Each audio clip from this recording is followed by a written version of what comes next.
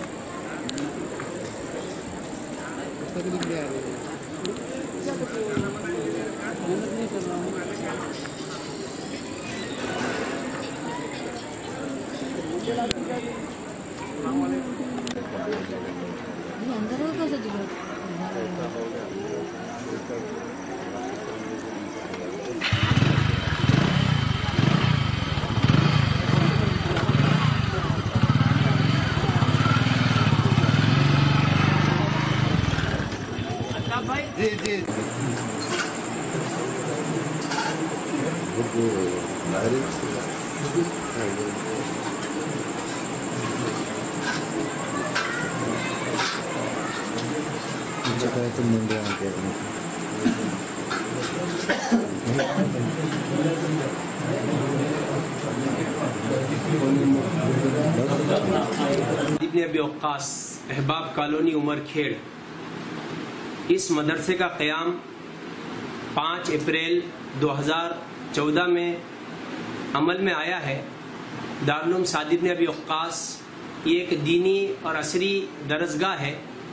یہ علاقہ برار میں اس وجہ سے قائم ہوئی ہے کہ دارالعلوم صادق نے ابھی سے پہلے اس علاقہ برار میں اور خصوصاً یوتمیل جلے کے شہر عمر کھیڑ میں بدعت اور خرافات کا دور دورہ تھا۔ دینی اعتبار سے یہ علاقہ بہت ہی پیچھے تھا۔ ہمارے دادا محترم حضرت مولانا عصمت اللہ خان صاحب، جو ہمارے علاقے برار کی بہت عظیم شخصیت تھی، جنہوں نے یوتمیل کی جامع مسجد میں پینتالیس سال امامت کی اور اس علاقے کے بڑے علماء میں شمار ہوتا تھا۔ ان کی دیرینہ خواہش تھی کہ اس شہر عمر کھیڑ میں کوئی ایک نایاب ادارہ ہو اور ہمارے شہر عمر کھیڑ کے بہت سے احباب نے بھی ہم سے گزارش کی تھی کہ اس علاقے میں کوئی ایک مدرسہ ایسا ایسا مدرسہ قائم ہو کہ جو ہمارے علاقے کی باغ دور سنبھالے۔ تو الحمدللہ ہم نے دارالم صادب نبی ابی وقاص کا قیام پانچ اپریل دو ہزار چودہ میں رکھا اور کم ہی مدت میں دارالعلوم سعد ابن ابی وقاص نے پورے علاقے میں ایک شناخت بنائی۔ ابھی الحمدللہ ایک بچے نے ہمارے پاس ایک سال میں قرآن پاک حفظ کیا اور ابھی دوسرے بچے نے ہمارے پاس ایک سو ستاون دن میں پورا قرآن حفظ کیا۔ اور الحمدللہ دینی اور عصری یہ درزگاہ اپنے عروج پر پورے علاقے میں خدمت انجام دے رہی ہے۔ اور الحمدللہ ہمارے حافظ منصور صاحب اشاتی یہ بھی ہمارے اس ادارے کے ناظم ہے اور یہ علاقہ بہت ہی پچھڑا ہوا علاقہ تھا اور ابھی بہت قسم و پرسی کی حالت میں اس ادارے کا انعقاد ہوا۔ الحمدللہ ہمارے خاندان نے، شیر عمر کھیڑ نے اور اطراف و اکناف نے بہت تعاون کیا، جس کے نتیجے میں بہت ہی کم مدت میں یہ پورے علاقے میں ایک ممتاز ادارہ قائم ہوا ہے۔ اللہ سے دعا ہے کہ اللہ تبارک و تعالیٰ اس ادارے کو نظر بس سے بچائے اور اللہ تبارک و تعالیٰ دین دنی رات چوگنی ترقیات سے اسے نوازے۔ یہ کہا جا سکتا ہے کہ اس ادارے نے چند دنوں کے اندر اپنی جو حیثیت اور اپنی جو انفرادیت بنائی ہے مستقبل میں یہ ایک بہت بڑا کارنامہ انجام دے گا۔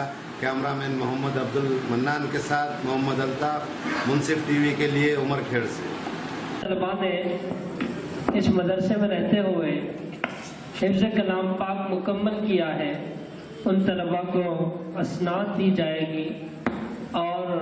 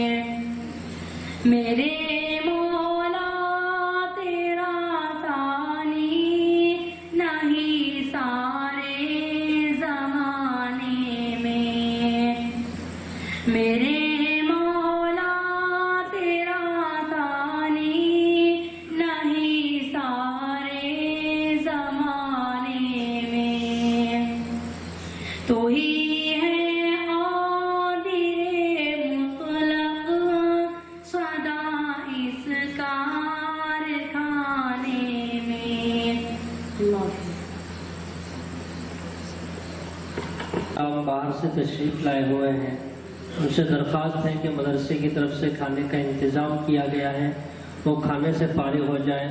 انشاءاللہ بہت جلد پروگرام کا باضابطہ آغاز ہوگا۔ اور جو علماء کرام مجمع میں تشریف فرما ہیں، ان سے میں درخواست کروں گا کہ وہ اسٹیج پر تشریف لے آئیں۔ حضرت مولانا علی اصغر صاحب قاسمی، دعوت برکاتہم العالیہ سے بھی درخواست ہے کہ وہ اسٹیج پر تشریف لائیں۔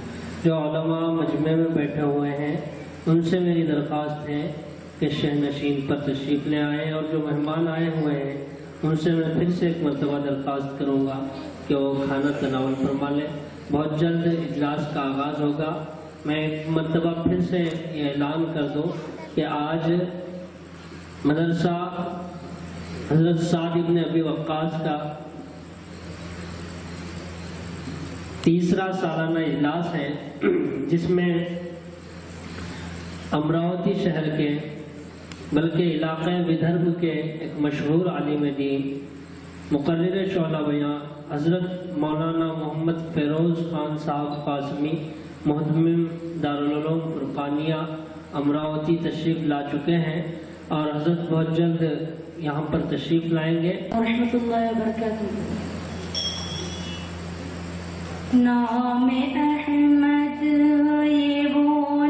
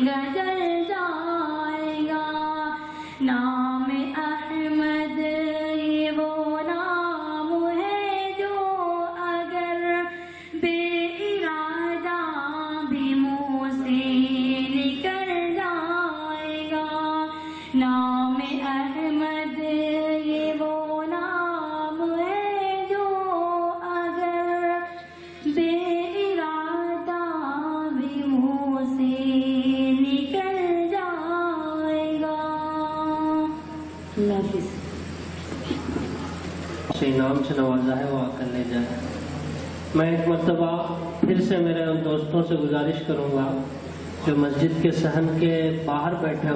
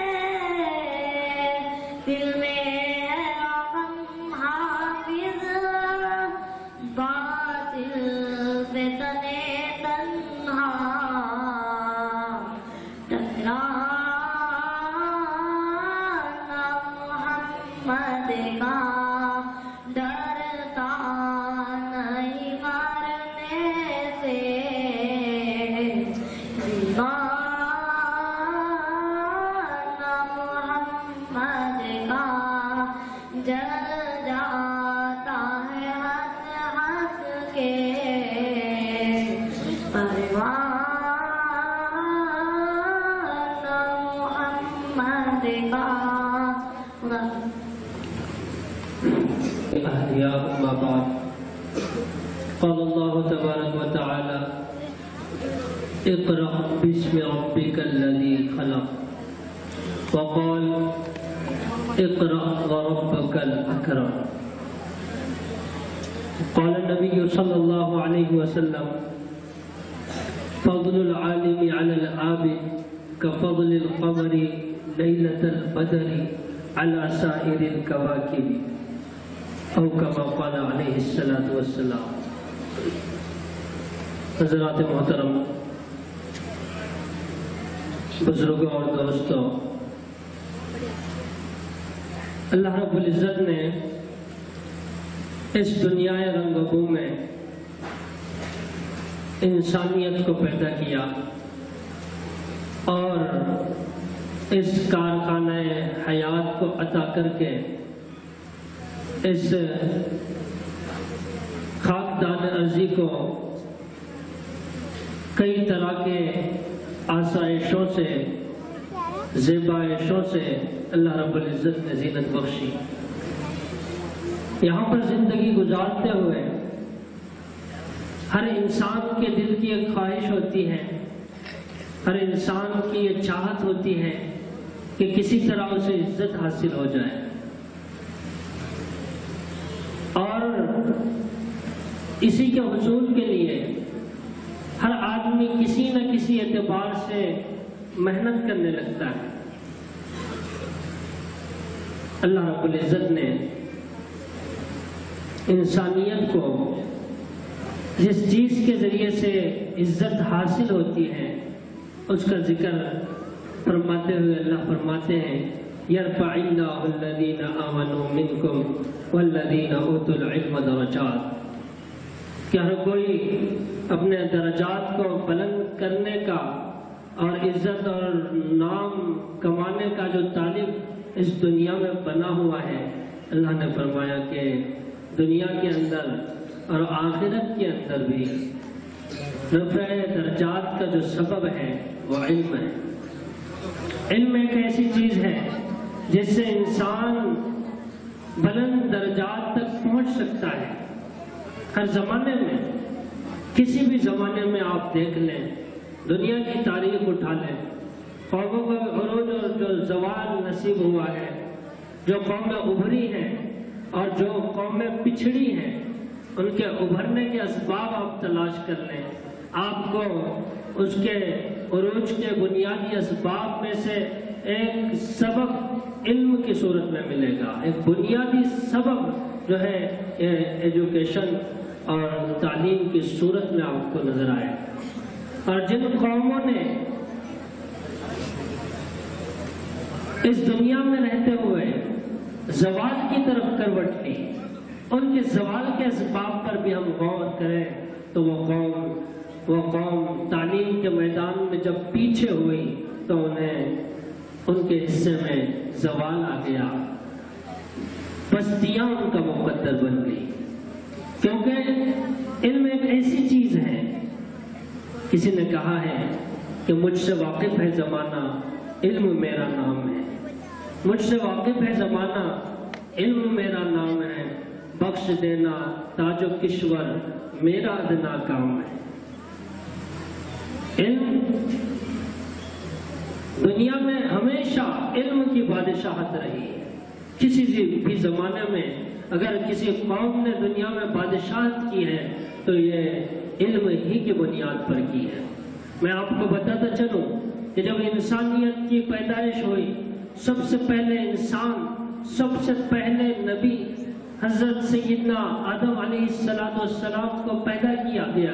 اور اللہ رب العزت نے پیدا کرنے سے پہلے ایک میٹنگ لی، فرشتوں کو سے مشورہ لیا، مشورے کی صورت بنائی۔ اور ان کو بلا کر پوچھا کہ اے فرشتوں اے فرشتوں انی جاعل فی الارض خلیفہ میں زمین میں اپنا نائب بنانا چاہتا ہوں۔ زمین میں میں اپنا ایک خلیفہ بنانا چاہتا ہوں۔ فرشتوں نے کہا کہ اللہ رب العزت، اتجعل فیہا، من یفسد فیہا ویسفک الدماء۔ آپ ایسے انسانیت کو کیوں کر پیدا کرنا چاہتے ہیں جو زمین میں فساد بچائے، جو زمین میں خون بہائے؟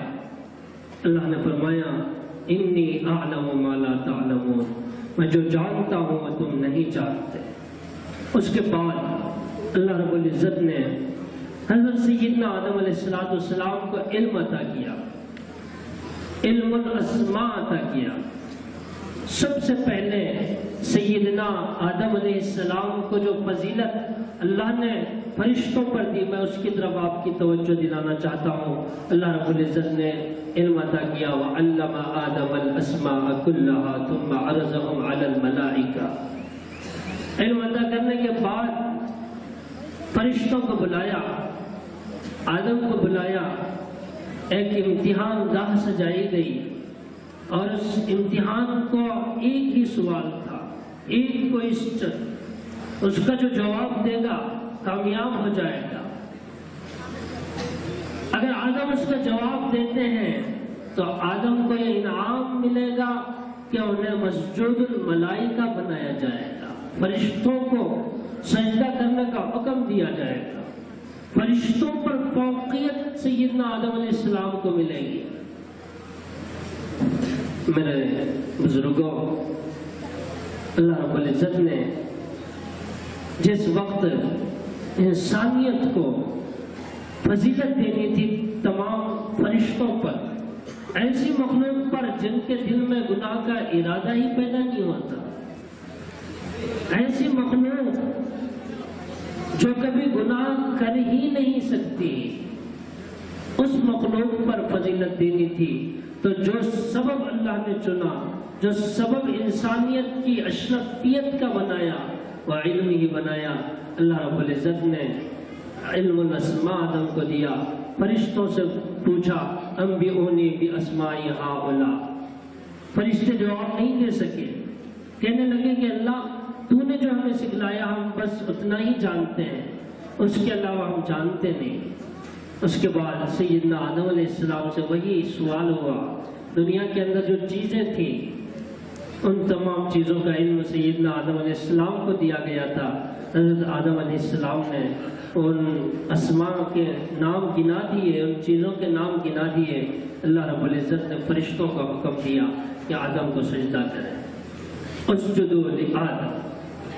یہ وہ وقت تھا جب انسانیت کو فرشتوں پر فضیلت حاصل ہو رہی تھی، یہ وہ وقت تھا جب انسانیت، جب انسان مسجود الملائکہ بن رہے تھے، جنہیں ملائکہ سجدہ کر رہے تھے۔ میرے بھائیوں وہ سبب جو بنا، جس نے انسان کو فرشتوں کا مسجود بنا دیا، وہ علم ہی تھا۔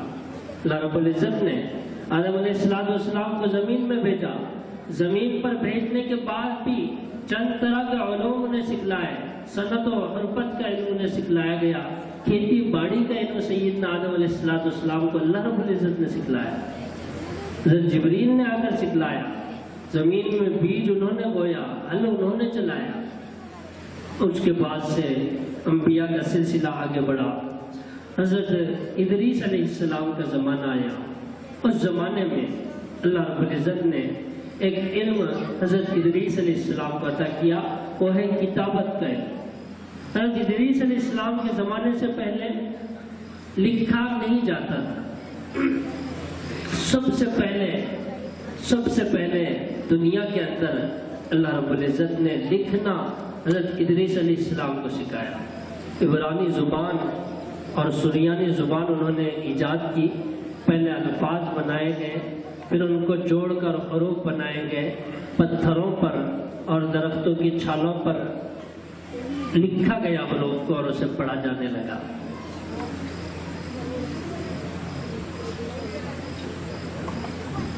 تو میں یہ عرض کر رہا تھا کہ سیدنا نوح علیہ السلام کو بھی اللہ نے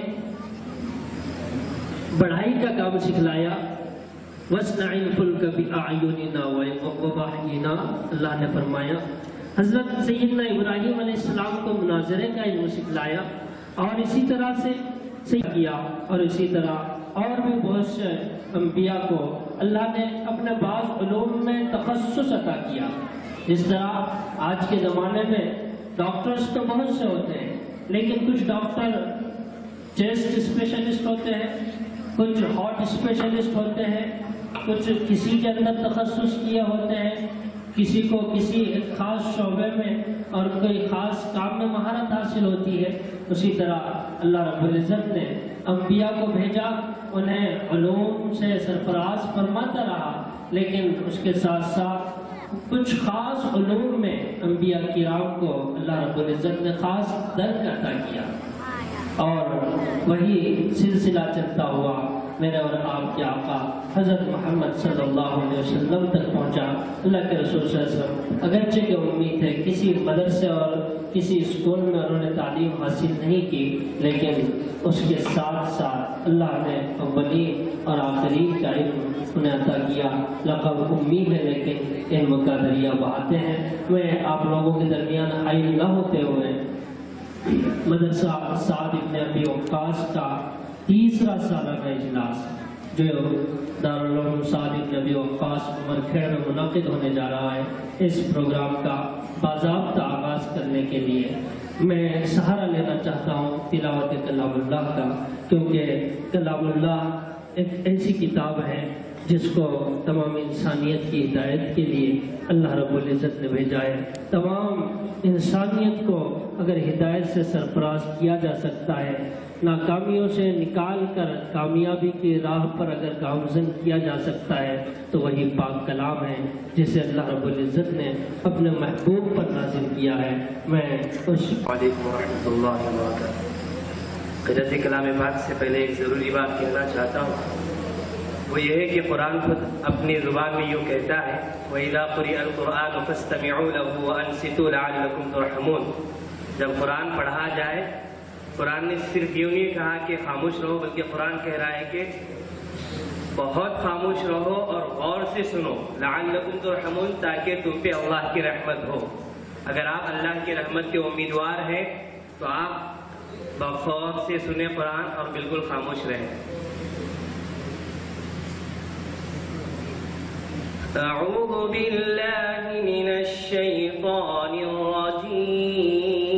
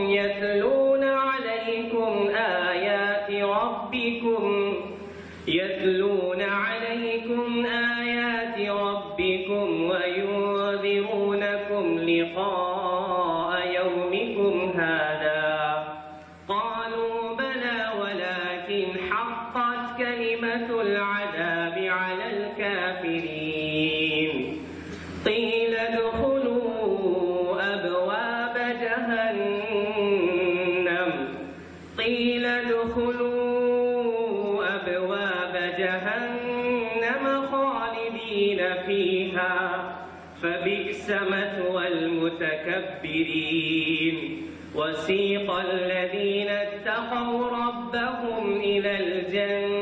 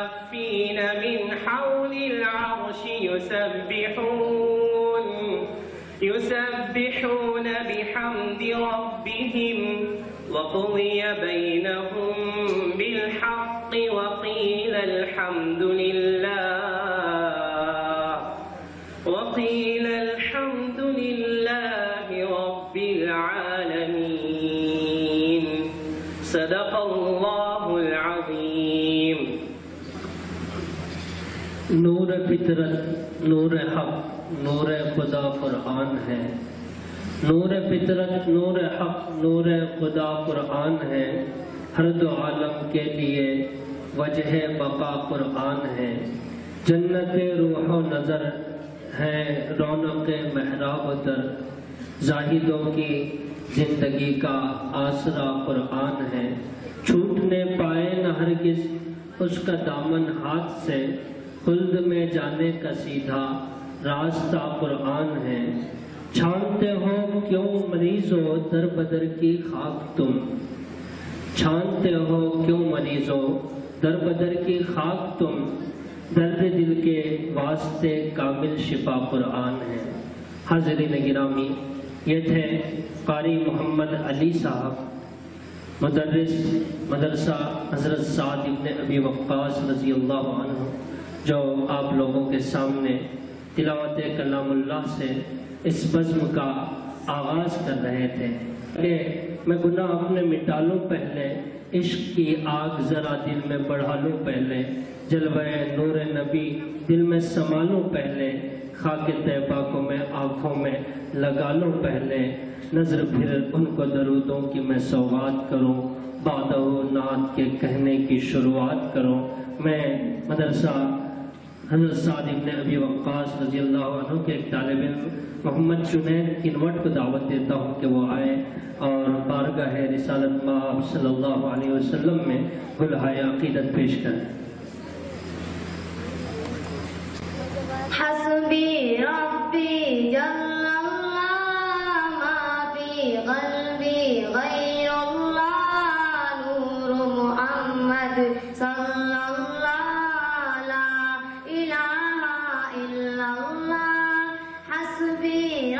في جل الله ما في قلبي غير الله نور محمد صلى الله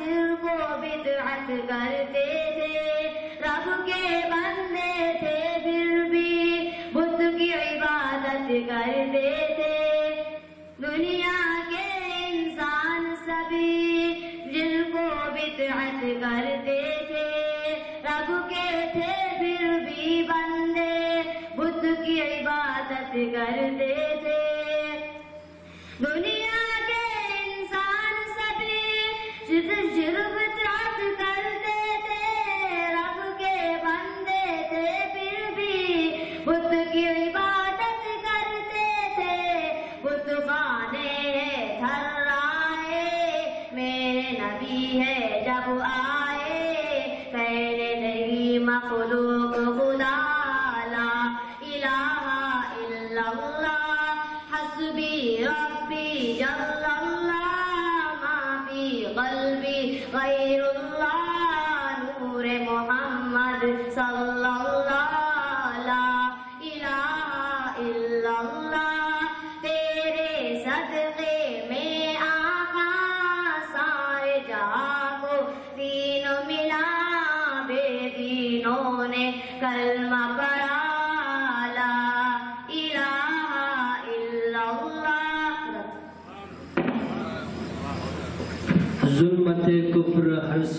چھائی ہوئی، کفر کا بول بالا بسد رنگ تھا۔ سرور دو جہاں لائے تشریف جب، حلقہ نور وحدت بہت تنگ تھا۔ کوہ پارا سے وحدت کی گونجی صدا۔ قریہ کفر میں کھلبلی مچ گئی۔ جس کو صادق امی تھا پکارا گیا۔ اب اسی سے ہر ایک برسر جنگ تھا۔ شہر مکہ میں جس کو ستایا گیا، شہر مکہ میں جس کو ستایا گیا، جس کو طائف میں مشق ستم کی گئی، جرم اس کا تھا اعلان رشد و ہدا اور سزا جرم کی خشت تھی، سنگ تھا۔ جتنا آواز حق کو دبایا گیا، بڑھ گئی اس کی اور رانائیاں۔ نور ایما سے دل جگمگانے لگے۔ ظلمت کفر کا قافلہ تنگ تھا۔ پھر ہوا یہ کہ توحید کی آنچ سے شرک کے بت شرک کے بت پگل کر پناہ ہو گئے۔ کیا کلام رسالت کی تاثیر تھی؟ کیا زبان رسالت کا آہنگ تھا؟ حاضرین محترم، یہ تھے محمد جنید کنوٹ، جو بارگاہ رسالت مآب صلی اللہ علیہ وسلم میں۔ ہدیے نذران عقیدت پیش کر رہے تھے۔ ان کے اس مظاہرے سے خوش ہو کر مولانا علی اصغر صاحب میں تقریر پیش کرنے کے لیے میں دعوت دیتا ہوں محمد سفیان بن اشرف خان صاحب پلساؤنگی کو کہ وہ آئے اور اردو زبان میں جہیز کے عنوان پر اپنے خیالات کا اظہار فرمائیں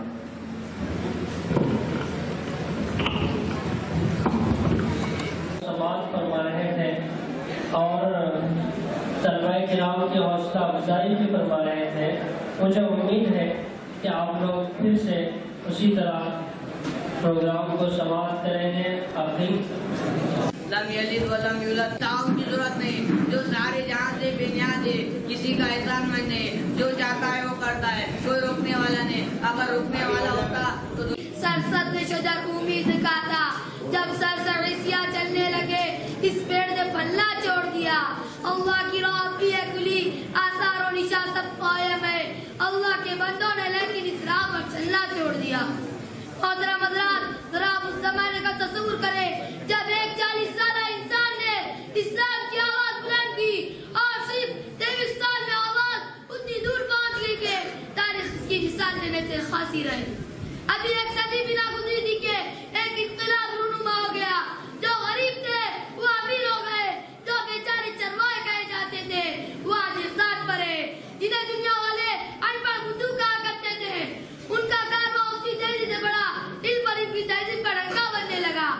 جو تعلیم و تعلیم میں پچھلی دفعہ میں تھے، وہ امام بن گئے۔ ان الارض یریث عبادی الصالحون۔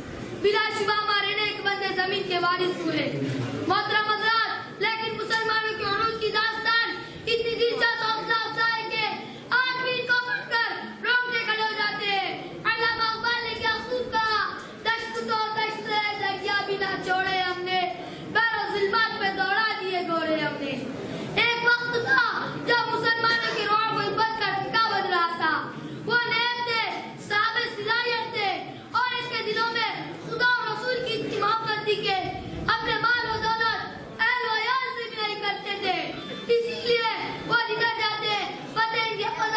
کی۔ مگر افسوس، یہی قوم آج دلیل ہو رہی ہے۔ یہ اسلام کے لیوا آج جگہ جگہ پریشان ہے۔ چین ہو یا امریکہ یا پھر ہندوستان؟ جہاں دیکھے وہاں مسلمان۔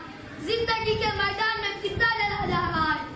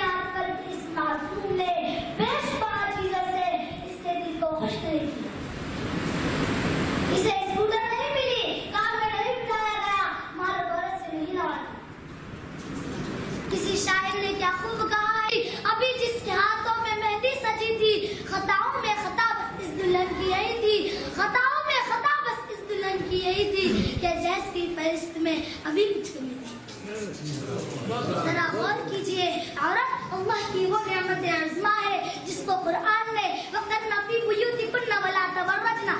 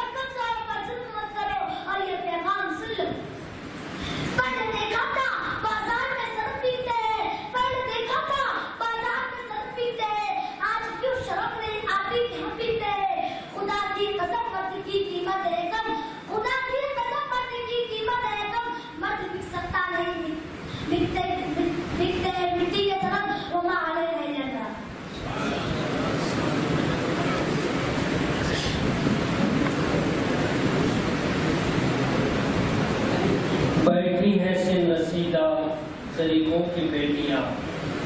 بیٹھی ہے سے نسیدہ غریبوں کی بیٹیاں کتنوں نے جان دے دی، بدولت جہیز کی۔ آسان کیوں نہ ہوگی غریبوں کی شادیاں۔ ارباب زر جو چھوڑ دے چاہت جہیز کی۔ سر جوڑ کے یہ فکر کرے آپ اور ہم۔ سر جوڑ کر یہ فکر کرے آپ اور ہم۔ کیسے ٹلے گی سر سے قیامت جہیز کی؟ عزیزان محترم ابھی ابھی اس ادارے کے ایک طالب علم محمد سفیان جہیز کے عنوان پر اپنے خیالات کا اظہار کر رہے تھے۔ ان کے اس مظاہرے سے خوش ہو کر جناب اعظم لالا صاحب نے پانچ سو روپے انعام دیے ہیں۔ حاجی بشارت علی صاحب دوسر نے پانچ سو روپے انعام دیے ہیں۔ اور بھی بہت سے احباب ایسے ہیں جن کے نام میں نے میں نہیں ڈالتا ان لوگوں نے نے بھی اس طالب علم کی ہمت افزائی کی ہے۔ اللہ رب العزت انہیں جزائے خیر عطا فرمائے۔ بہت بڑی بات ہے میرے بھائی، ہمارے لیے چھوٹا سا انعام ہوتا ہے، لیکن پتہ نہیں اس انعام سے اس طالب علم کی حوصلہ افزائی ہو جائے، جس کی وجہ سے وہ زندگی بھر دین کی اشاعت کرتا رہے اور اس حوصلہ افزائی کی وجہ سے اسے کوئی ایسا حوصلہ ملے، ایسا عزم اس کے اندر جمع ہو کہ زندگی بھر وہ دین کے لیے تگودو کرتا رہے۔ تو انشاءاللہ، ثم انشاءاللہ، آپ کی حوصلہ افزائی، آپ کا یہ چھوٹا سا انعام آپ کو آخرت کے اندر بہت سے انعامات سے سرفراز فرمائے گا۔ میں اس پروگرام کو جناب الحاج عنایت اللہ جناب صاحب کی طرف سے بھی مجموعی طور پر پانچ سو روپے انعام آیا ہے۔ سلیم بھائی اور رئیس سیٹ صاحب کی طرف سے بھی مجموعی انعامات آئے ہیں۔ جتنے بھی طلبا یہاں پر مظاہرہ کریں گے میں اس کے بعد بلا کسی تاخیر کے ایک مکالمہ پیش کرنے کے لیے ارشاد خان سندھی اور صبغت اللہ عمر صبغت اللہ خان عمر کے کو دعوت دیتا ہوں کہ وہ آئے اور مکالمہ پیش کریں۔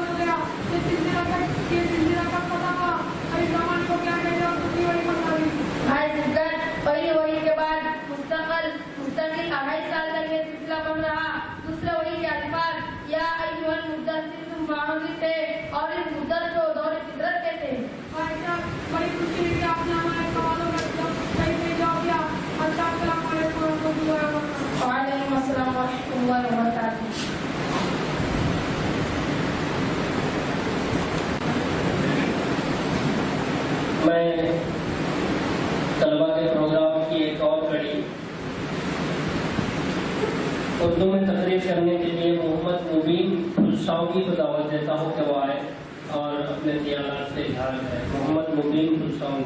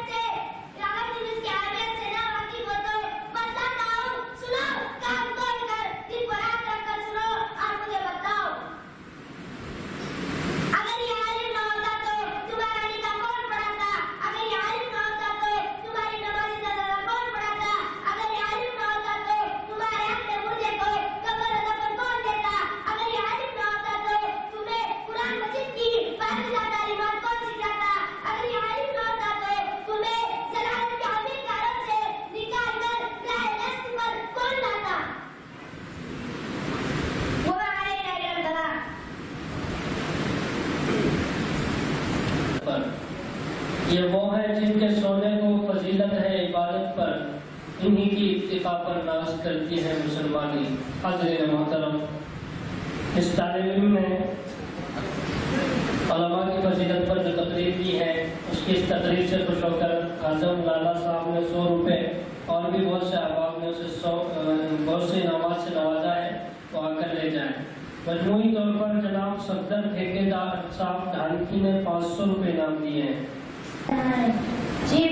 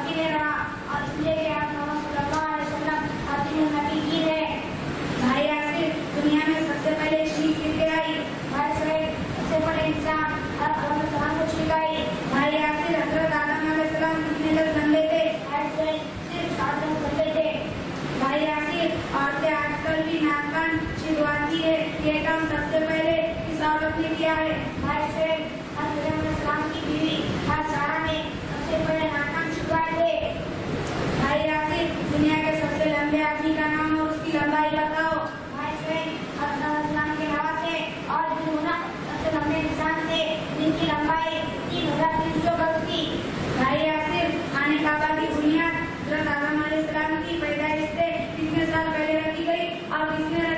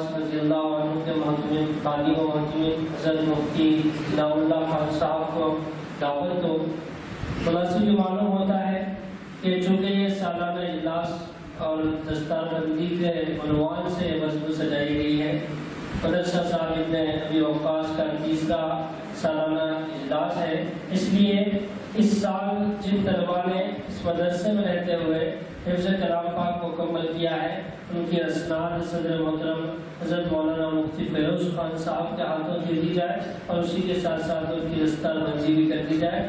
میں نام لیتا ہوں۔ سب سے پہلے حافظ بننے والے طالب محمد مفیز ابن محمد نعیم باغوان صاحب، خدگاؤں کے تشریف لائے۔ اس طالب علم نے ایک سو ستاون دن میں حفظ کلام پاک مکمل کیا ہے انہیں صدر محترم حضرت مفتی فیروز خان صاحب امراوتی کے ہاتھوں صدر دی جائے گی اور ان کی دستار بندی کی جائے گی۔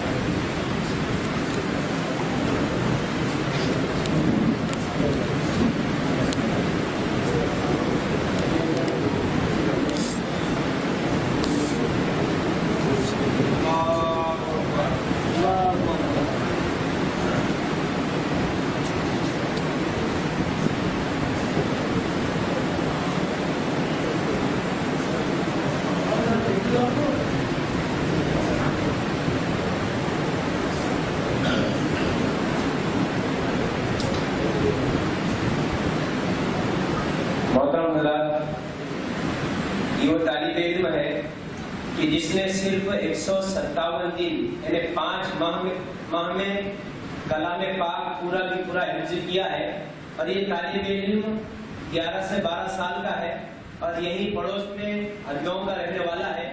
بہت کم عرصے میں اس نے کلام پاک حفظ کیا ہے اور حدیث میں بھی لکھا ہے کہ کلام پاک کے ختم پر اللہ تبارک و تعالیٰ دعاؤں کو قبول کرتا ہے۔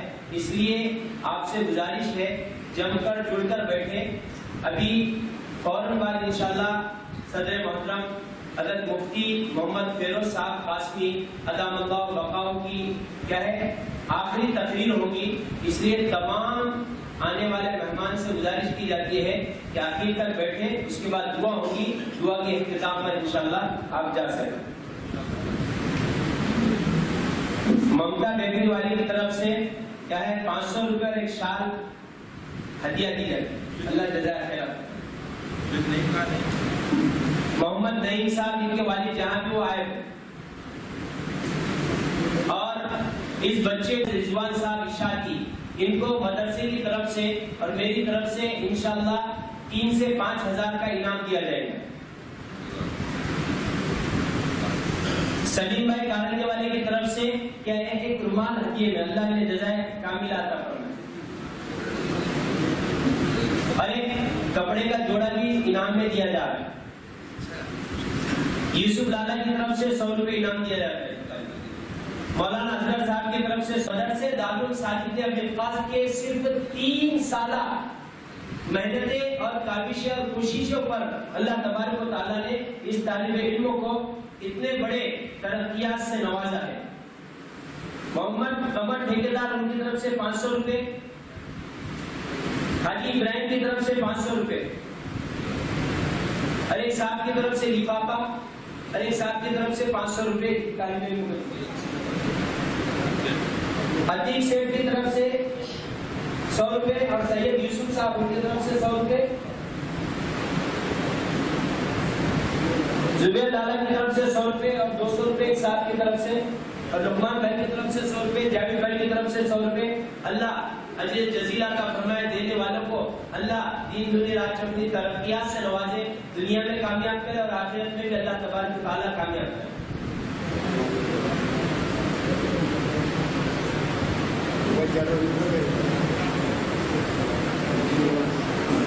جعفر صاحب انجینئر، ان کی طرف سے پانچ سو روپے۔ اللہ اجر جزیلہ کا فرمائے صحت کاملہ۔ انصار صاحب کی طرف سے سو روپے پانچ سو روپے۔ زبیر لالا کی طرف سے پانچ سو روپے۔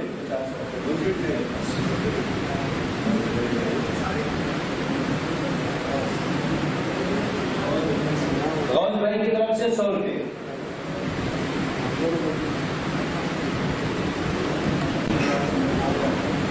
بمبئی کی جماعت کی طرف سے کیا ہے؟ کچھ روپیہ ہے عبد الواحد بھائی کی طرف سے سو روپے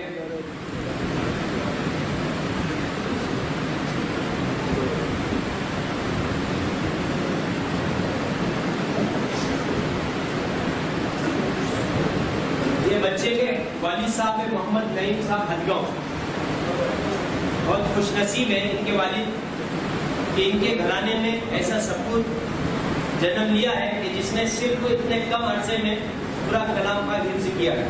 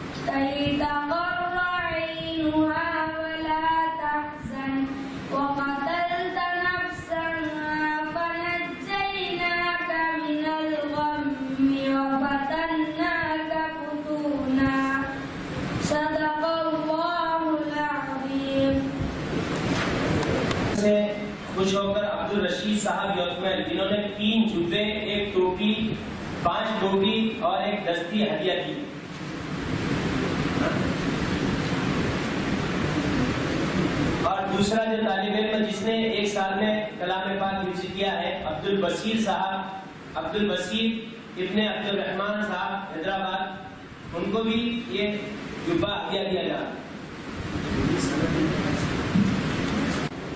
اور ایک طالب علم ہے عبد البصیر ابن عبد الرحمان صاحب، حیدرآباد۔ لیکن وہ کسی وجہ سے اس پروگرام میں حاضر نہ ہو سکے، اس لیے وہ آنے کے بعد ان کی صنعت دی جائے گی۔ اس خوشی کے موقع پر سب سے پہلے تو میں مبارکباد دوں گا اس ادارے کے ناظم حضرت مولانا مفتی نام اللہ صاحب اور حضرت مولانا حافظ منصور خان صاحب کو۔ اور ان کے بعد سب سے زیادہ مبارکباد کے مستحق میری نظر میں وہ اساتذہ ہیں جنہوں نے اس بچے پر دن رات محنت کر کے بچے کو اس قابل بنایا کہ وہ پورا قرآن اپنے سینے میں محفوظ کر سکے۔ اساتذہ ہی کی خدمات ہیں، انہی کی محنتیں ہیں کہ چھوٹے چھوٹے طلبا ابھی سے انہوں نے صحیح سے بولنا بھی نہیں سیکھا، لیکن وہ آپ کے سامنے ٹھہر کر مختلف عناوین پر تقاریر کر رہے ہیں وہ کالمات پیش کر رہے ہیں، نعت پڑھ رہے ہیں۔ اور حفظ کلام پاک کی صورت کے اندر بھی ایک مظاہرہ ان کا آپ لوگوں کے سامنے آیا ہے۔ اساتذہ کی محنتوں کے بغیر، اساتذہ کی محنتوں کے بغیر یہ یہ ناممکن چیز ہے۔ کسی نے خوب کہا ہے، ایک چیزیں خود بخود چیزیں نشد ایک چیزیں خود بخود چیزیں نشد ہیج آہن خود بخود کہلے نشد مولوی ہرگز نشد مولائے روم تا غلام شمس تبریزی نشد کہ کوئی بھی چیز خود بخود کوئی چیز نہیں بن جاتی۔ کوئی لوہا کسی کی محنت کے بغیر تلوار نہیں بن جاتا۔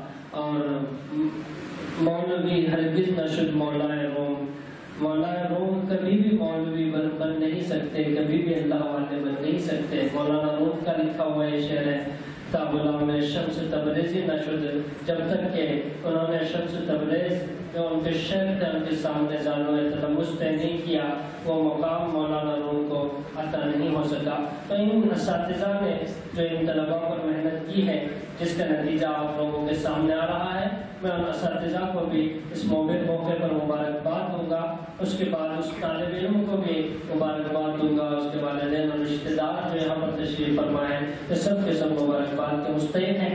اب میں آپ لوگوں کے درمیان حائل نہ ہوتے ہوئے اس مدرسے کے محتمے حضرت مفتی مولانا، مفتی نام اللہ خان صاحب شاعتی دعوت برکات العالیہ سے درخواست کرتا ہوں کہ وہ آئے اور اپنے کلمات سے ہم سب کو سرفراز فرمائیں۔ الحمد لله الحمد لله الذي من على المؤمنين إذ بعث فيهم رسولا۔ الحمد لله الذي أكرمنا وأعزنا بمحمد صلى الله عليه وسلم وجعلنا من أمته أشهد أن لا إله إلا الله وأشهد أن محمدا عبده ورسوله صلى الله عليه وعلى آله وأصحابه وبارك وسلم تسليما كثيرا كثيرا. أما بعد أعوذ بالله من الشيطان الرجيم. بسم الله الرحمن الرحيم. قال الله تبارك وتعالى الرحمن علم القرآن خلق الإنسان علمه البيان. وقد ورد في الخبر عن النبي الصادق الأبر صاحب القبر الأعظم صلى الله عليه وسلم أنه قال وإنما أنا قاسم والله يعطي. رواه البخاری أو کما قال علیہ الصلوۃ والسلام. معزز معقر صدر محترم حضرت مولانا مفتی صاحب قاسم مفتی فیروز صاحب قاسمی حضرات علماء کرام دور دراز سے آئے ہوئے مہمان نظام اور عزیز ساتھیوں، اللہ تبارک و تعالیٰ کے بے شمار اسما ہے امام بخاری نے، بخاری شریف میں اور امام مسلم نے، مسلم شریف میں باقی اسماء اللہ تبارک و تعالیٰ میں ایک روایت ذکر کی، ان للہ کس و اسما ہے۔ ایک دوسری روایت ہے روح البیان میں علامہ کاشفی، علامہ اسماعیل حقی رحمت اللہ علیہ نے کہ اللہ تبارک و تعالیٰ کے ایک ہزار اسما ہے تین سو اسما کو اللہ تبارک و تعالیٰ نے تورات میں ذکر کیا۔ اللہ تبارک و تعالیٰ نے انجیل میں ذکر کیا اور ننانو اسما کو اللہ تبارک و تعالیٰ نے قرآن و حدیث میں ذکر کیا۔ ایک نام اللہ تبارک و تعالیٰ نے اپنے پاس محفوظ کر کر رکھا۔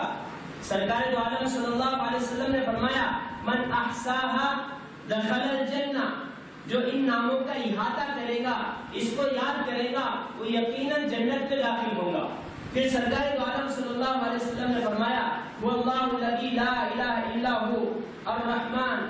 الرحیم، الملک، القدوس، السلام، المؤمن المہیمن العزیز الجبار المتکبر الخالق الباری المصور الغفار القہار الوهاب، الرزاق، الفتاح العلیم اللہ کے اسما میں جو نام العلیم ہے، کہ بہت زیادہ جاننے والا، یہ وہ نام ہے کہ اللہ تبارک و تعالی علیم بذات الصدور ہے۔ اللہ علیم ہے، اللہ جاننے والا ہے۔ البدایہ نہایہ میں ابن کثیر رحمت اللہ علیہ نے جلد نمبر ایک میں صفحہ نمبر پینتیس پر اس کی تشریح کرتے ہوئے ابن کثیر نے فرمایا، علیم کہ یعلم دبیب النملة السوداء على الصخرة العظیمة فی لیلت مظلمہ کہ اللہ وہ ذات ہے، اللہ ایسے علیم اور خبیر ہے کہ اگر کالی رات ہو، کالا پہاڑ ہو، اس کالے پہاڑ پر ایک کالی چٹان ہو اور اس کالی چٹان پر ایک کالی چھوٹی کی حقیر آہٹ کو بھی اللہ تبارک و تعالیٰ جانتا ہے۔ اللہ ایسے علیم ہے۔ اور جب اللہ تبارک و تعالیٰ صفت علیم کو کسی بندے میں منتقل کرتا ہے، تو پھر وہ علیم کی صفت جب اس میں داخل ہوتی ہے، راسخ ہوتی ہے، تو وہ پھر عالم بن جاتا ہے۔ اور جب وہ عالم بنتا ہے، تو میرے محترم بزرگوں اور دوستو وہ کمال اس عالم میں پیدا ہوتا ہے، وہ اللہ کے علیم صفت کی وجہ سے۔ میں آپ کو کہوں، ابھی میں نے سورہ رحمان کی جو تین آیتیں تلاوت کی، اللہ تبارک و تعالیٰ فرماتا ہے، الرحمن۔ رحمان نے علم القرآن قرآن سکھلایا. خلق الانسان. پھر انسان کی تخلیق کی. اللہ علامہ البیان اور اس کو قوت گویا عطا فرمائی. تفسیر مذہبی میں قاضی ثنا اللہ پانی پانی پتی نور اللہ مرتدوں نے اس آیت کے ذیل میں لکھا ہے. اللہ نے سب سے پہلے الرحمن قسم کھائی. اس کے بعد خلق الانسان. الرحمن علم القرآن، کہ اللہ نے قرآن کو سکھایا۔ خلق الانسان، پھر انسان کی تخلیق کی۔ اگر اس آیت میں ہم غور کریں گے، تو ہمیں پتا چلے گا کہ آیت اس طرح ہونی چاہیے تھی۔ الرحمن خلق الانسان، علم القرآن۔ کیونکہ رحمان نے انسان کی تخلیق کی اور پھر اس کو قرآن سکھایا اور قوت گویائی عطا فرمائی۔ لیکن اللہ تبارک و تعالیٰ نے پہلے قرآن پاک کا تذکرہ کیا، حضرات مفسرین نے لکھا ہے، گویا انسان کی تخلیق کا مقصد جو ہے وہ قرآن پاک کی تعلیم ہے۔ جب بندہ قرآن پاک کی تعلیم حاصل کرتا ہے اور قرآن کو پڑھتا ہے، تو پھر اللہ تبارک و تعالیٰ فرماتا ہے کہ اس میں انسانیت منتقل ہوتی ہے اور وہ انسان بنتا ہے۔ اس آیت کے ذیل میں قاضی ثنا اللہ پانی پتی نور اللہ مرتدوں نے کہا، خلق الانسان سے حضرت آدم علیہ السلام والسلام مراد ہے۔ کہ اللہ تبارک و تعالیٰ نے آدم علیہ السلام والسلام کو جو قوت گوئے عطا فرمائی۔ جلد نمبر گیارہ میں اس آیت کے ذیل میں قاضی ثنا اللہ پانی پتی نور اللہ مرتدوں فرماتے ہیں کہ اللہ تبارک و تعالیٰ نے آدم علیہ السلام والسلام کو سات لاکھ زبانوں کا علم عطا کیا۔ اور فرشتوں پر جو آپ کو فوقیت اور برتری حاصل، وہ علم کی وجہ سے۔ یہی وجہ ہے اللہ تبارک و تعالیٰ نے جب وَإِذْ قُلْنَا لِلْمَلَائِكَةِ اسْجُدُوا، یہ آدم کہا، اللہ نے ملائک کو جو مرجود بنایا کیوں یہ علم کی وجہ سے۔ اور سب سے پہلے حضرت آدم علیہ السلام کو جس ذات نے سجدہ کیا، وہ حضرت اسرافیل علیہ السلام ہے کہ جیسے ہی اللہ نے فرشتوں کو حکم دیا سجدے میں چلے جاؤ، تو اس وقت سب سے پہلے سجدہ کرنے والے حضرت اسرافیل علیہ السلام الوداع نہایا میں ابن کثیر نے جلد نمبر ایک میں لکھا ہے اللہ تبارک و تعالیٰ نے اس انعام میں جو انہوں نے آدم کو سجدہ کیا ہے، پورا قرآن حضرت اسرافیل علیہ السلام کے پیشانی پر کندہ کر دیا اور یہ اطاعت اور فرما برداری آدم علیہ السلام میں علم کی وجہ سے آئی۔ اسی وجہ سے میرا محترم بزرگ اور دوستو جب ضرورت محسوس ہوئی، ضلع یوتمین کے اس شہر عمر کھیڑ میں اور آپ جانتے ہیں یہ جو علاقہ بہت بنجر علاقہ ہے اور اس پورے شہر عمر کھیڑ میں کوئی ایسا ادارہ نہیں تھا جو ہمارے پورے علاقے کی بات دور سنبھال سکی۔ اور ہمارے دادا محترم حضرت مولانا اسمت اللہ خان صاحب، جنہوں نے یوگمین کی جامع مسجد میں پینتالیس سال امامت اور ہمارے علاقے برار کی بہت عظیم شخصیت، بہت بڑے عالم دین میں نے وہ زمانہ دیکھا کہ اس علاقے کے بڑے سے بڑے عالم ان کے پاس آنے کے لیے ڈرتے تھے۔ پوری زندگی میں اگر کسی کو شاباشی انہوں نے دی ہے تو وہ حضرت مولانا مصطفیٰ صاحب مزائی میرے آنکھوں کے سامنے، ورنہ ہر عالم، ہر حافظ آپ سے ڈرا کرتا تھا۔ اللہ نے وہ علم حضرت مولانا عصمت اللہ خان صاحب کو عطا کیا۔ ان کی دیرینہ خواہش بھی تھی۔ کہ اس علاقے میں، عمر کھیڑ میں کوئی ادارہ قائم ہو۔ مسلسل پندرہ سال کی کاوشیں اور کوششوں سے ہم نے چاہا یہاں کوئی ادارہ ہو، لیکن کیسے قائم کیا جاتا؟ حالات ایسے پرفتن تھے اور موافق نہیں تھے۔ ہم نے، ہمارے چھوٹے بھائی ریحان اللہ خان صاحب کی شادی میں پورے خاندان والوں کو جمع کیا اور ہمارے حاجی عنایت اللہ خان صاحب اور ہمارے رئیس صاحب سلیم بھائی منیار صاحب، زکا صاحب اور جعفر انجینئر صاحب، یہ لوگ اور خاندان کے لوگ الحمدللہ بیٹھ کر ہم نے اس پوری جگہ کا انتخاب کیا۔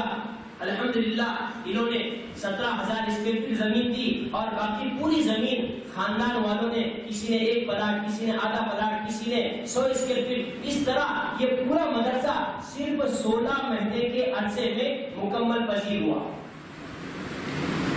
اور اس کے بعد اس مدرسے کی تعمیر میں شہر عمر کھیڑ، ہتگاؤں، ارنی، یوتمل کارنجا نیر کھانکی اور پھر عدل آباد اور اطراف و اکناف سے الحمدللہ اتنی امداد آئی، یہ جو آج نظر آ رہا ہے، یہ صرف اور صرف سولہ مہینے کی کاوش کی وجہ سے۔ اور اس مدرسے کی یہ خصوصیت ہے، اس مدرسے میں کوئی سفیر اور چندہ کرنے والا نہیں ہے۔ حضرت مولانا حافظ منصور صاحب اور میں جمعہ جمعہ اور رمضان میں اس مدرسے کا چندہ کرتے ہیں۔ اس مدرسے کا سالانہ جو خرچ ہے، وہ پینتیس سے چھتیس لاکھ کے قریب ہے۔ اس مدرسے میں ایک سو تریاسی بچے زیر تعلیم ہے اور بہت کم وقت میں اللہ تبارک و تعالیٰ نے ضلع یوتمین میں اس مدرسے کو وہ امتیاز عطا فرمایا جو آپ اپنے آنکھوں سے دیکھ رہے ہیں۔ اور الحمدللہ، ایک بچے نے ایک سال میں اور دوسرے بچے نے ایک سو ستاون دن میں پورا کلام پاک حفظ کیا ہے، یہ ہمارے اساتذہ کی محنت کی وجہ سے۔ ہمارے حافظ عادل صاحب، حافظ رضوان صاحب، قاری جنید صاحب، قاری محمد علی صاحب اور مولانا عبد الجلیل صاحب، حافظ احمد صاحب، مولانا حافظ منصور صاحب اور مولانا امجد صاحب ان کی کاوشیں ہیں۔ الحمدللہ، اس مدرسے میں تعلیمی اعتبار سے بچے پڑھ رہے ہیں پھول رہے اور اس مدرسے میں دینی تعلیم کے ساتھ نظام ہے۔ نبی تک الحمدللہ تعلیم ہے، ایک سمستہ سے اس سے جوڑا گیا ہے۔ اور الحمدللہ، ہمارے شہر عمر سے اس مدرسے کو بہت زیادہ امداد ہے۔ میں تمام آنے والے مہمانان کا اور خصوصاً علماء اکرام کا جو اطراف و اپناف سے بہت صحبتوں کو برداشت کرتے ہوئے یہاں پہنچے ہیں اور پورے علاقے سے جو مہمان ہمارے پاس آئے ہیں، میں ان کا بھی شکر گزار ہوں کہ اللہ تبارک و تعالیٰ آپ نے جو اس مدرسے کو محبت کی نگاہ سے دیکھا، اس بچے کے اکرام میں آپ یہاں آئے، اللہ آپ کے آنے کو بے انتہا قبول فرمائے۔ آپ نے جو ان بچوں کو انعامات سے نوازا، آپ نے محبت کی نگاہ سے انہیں دیکھی۔ یقیناً یہ آپ کے لیے جنت کا ضامن ہوگا۔ اللہ آپ کو دنیا میں بھی کامیاب کرے گا، آخرت میں بھی اللہ تبارک و تعالیٰ کامیاب کرے گا۔ اللہ سے دعا ہے، اللہ ہم تمام کو عمل کی توفیق عطا فرمائے۔ اللہ آپ کے آنے کو بے انتہا قبول فرمائے۔ اللہ آپ کو اجر جزیل عطا فرمائے، آپ اتنے دیر تک بیٹھے، انشاءاللہ اب آخری تقریر ہے حضرت صدر محترم مفتی محمد فیروز صاحب، جو مفسر قرآن بھی ہے ہمارے علاقے برار کے بہت بڑے یا مفتی بھی ہے مقرر بھی ہے اس لیے انشاءاللہ جم کر بیٹھے، ان کا آخری خطاب ہو حضرات محترم، اس سے پہلے کہ میں صدر محترم کا آواز میں اس محفل میں ایک نئی روح پھونکنے کے لیے میں اس مدرسے کے ایک مدرس حافظ و قاری محمد جنید صاحب کو آواز دیتا ہوں۔ تو آئیں اور نبی کریم صلی اللہ علیہ وسلم کے شان میں چند اشعار پیش کریں۔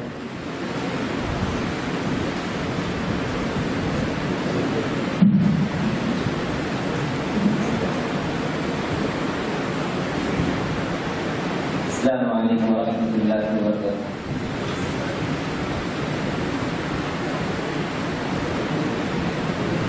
یوں اگر ہوتا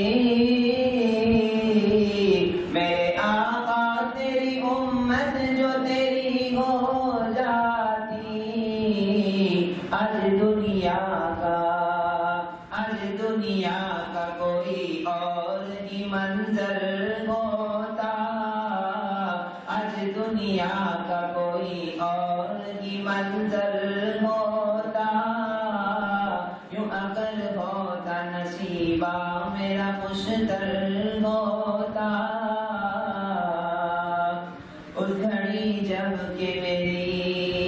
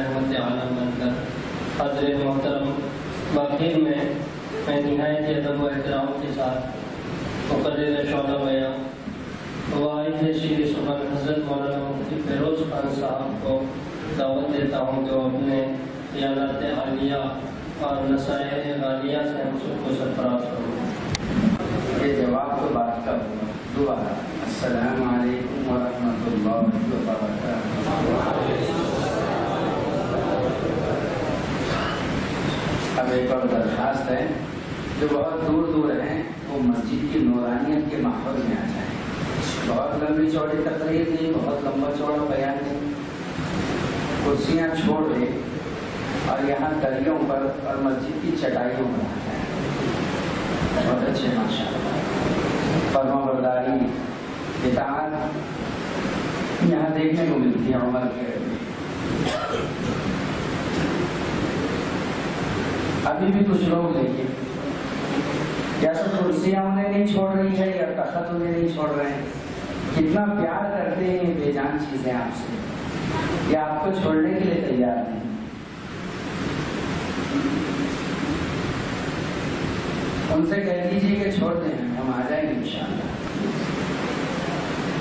ہم جلسے میں شرکت کے لیے آئے ہیں۔ اپنے مقصد کو پورا کریں وقت آ گیا ہے مقصد کے پورا کرنے کا۔ بہت دور مدرسے کے اخیر میں جہاں دالان ہے وزو خانے سے آگے۔ دیکھ رہا ہوں میرے بہت سے بھائی وہاں بھی ماشاءاللہ بیٹھے ہوئے ہیں۔ وہ بھی اس جگہ سے کہیں کہ آخر آنا تو مجھے تیرے ہی اندر ہے ابھی سے کیوں پکڑ رکھی ہے؟ چھوڑ دے، ابھی مجھے جانا ہے۔ اللہ کے گھر کی طرف جانا ہے۔ ہم آپ کو مسجد میں بلا رہے ہیں۔ ہم آپ کو فرشتے، فرشتوں کے ماحول کی دعوت دے رہے ہیں دوستوں اس لیے آپ مسجد کی طرف آ جاؤ۔ مجھے امید ہے کہ جو لوگ بچے بچے ہیں، وہ بھی مسجد میں آ جائیں گے۔ اب کچھ لوگ ایسے بچے ہیں جنہیں شیطان مسجد میں آنے سے روک رہا ہے۔ تو مت جا مسجد کی طرف، وہاں گیا تو پھنس گیا۔ آدھا گھنٹے تک فرشتوں کے ماحول میں اٹک جائے گا بس جائے گا۔ دیکھیے کہیں ایسا نہ ہو کہ شیطان کامیاب ہو جائے آپ کو روکنے میں۔ اگر آج آپ مسجد کے اندر آ گئے تو وہ آپ کی شیطان کو چیت کر دیا۔ ماشاء اللہ ماشاء اللہ ابھی بھی دم ہے کہ لوگ شیطان کو پٹک رہے ہیں۔ ڈرنے کرنے کہ بعد میں اپنے کو پٹک دے گا۔ آ جائیے۔ اچھا اس کے باوجود بھی جو مجمع ابھی باہر ہے، تو سمجھدار لوگ نہ سمجھ ساتھیوں کو لے کر کے آ جائیں اچھا ماشاء اللہ نہ سمجھ تو خود ہی آ رہے ہیں۔ سمجھدار ہوتے ہوئے؟ اب کچھ ٹھیک ہے۔ پڑھیے ڈیکوریشن پڑھیے۔ اللهم صل على سيدنا شفيعنا نبينا حبيبنا كريمنا مولانا الحمد لله والصلاة لأهلها أما بعد فأعوذ بالله من الشيطان الرجيم. بسم الله الرحمن الرحيم. وإذ نادى أيوب ربه أني مسني الضر وأنت أرحم الراحمين.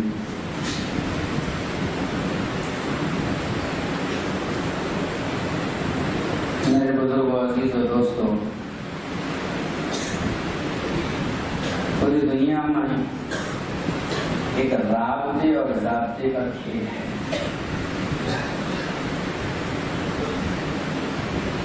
جس کا رابطہ جتنا مضبوط ہوتا ہے، اس کے لیے ذابطہ اتنا ڈھیلا استعمال کیا جاتا ہے۔ اور جتنا رابطہ گرا ہوتا ہے، رابطہ اس پر اتنا مضبوط کسا جاتا ہے۔ یہ رابطہ کیا ہے اور یہ ضابطہ کیا ہے؟ بیٹھے بیٹھے چند باتیں اللہ کے کرنے سے ذہن میں آتی تو آپ حضرات کے سامنے رکھنے کو جی جا رہا ہے رابطہ کہتے ہیں تعلق کو۔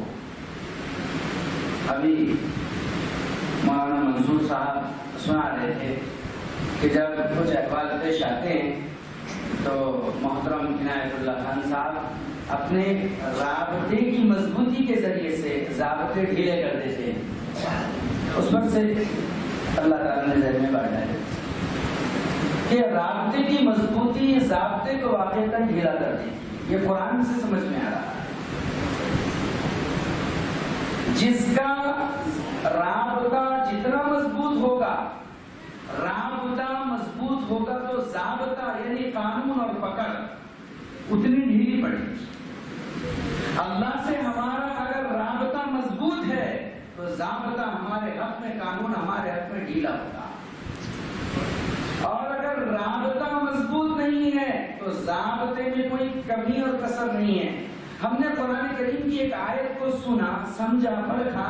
اذا جاء اجلها لا يستاخرون ساعه ولا يستقدمون، کہ جب اس کی موت کا وقت قریب آ جاتا ہے یا اس کی موت کا وقت آن پہنچتا ہے، تو سوت بھر آگے جاتا نہیں، سوت بھر پیچھے ہٹتا نہیں۔ لیکن حدیثوں میں یہ بھی سنا ہے، نیک اور صالح بندے کے پاس فرشتے آ کر کے یوں کہتے ہیں، اللہ تجھ سے تیرے اعمال سے راضی ہے، تو کیا چاہتا ہے کر دے؟ اللہ رب العزت اپنے ضابطوں کو، اپنے بندوں کے رابطوں پر مرتب کرتے ہیں۔ دو بات۔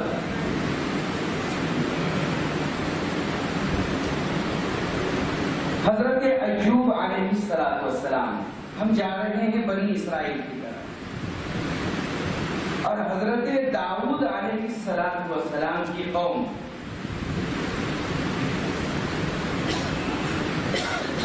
یہ اصحاب السبت جو لوگ کہلاتے ہیں، سنیچر والے۔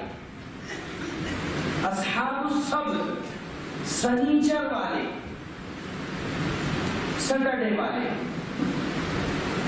یہ وہ قوم تھی جسے اللہ رب العزت نے چھ دن آزادی اور ساتواں ایک دن عبادت کے لیے عطا کر رکھا تھا۔ چھ دن آزادی سے کام کرتے رہو اور ساتواں صرف ایک دن سنیچر تم عبادت کیا کرو، جو دن تمہارے لیے عبادت کے لیے مقرر کیا گیا ہے، اس دن میں تم ضابطے کی خلاف ورزی مت کرنا، عبادت چھوڑ کر کے اپنا کاروباری کوئی تاجرانہ کام مت کرنا۔ یہ ان کو اللہ رب العزت نے ایک ضابطہ دے رکھا تھا۔ ضابطہ دے رکھا تھا۔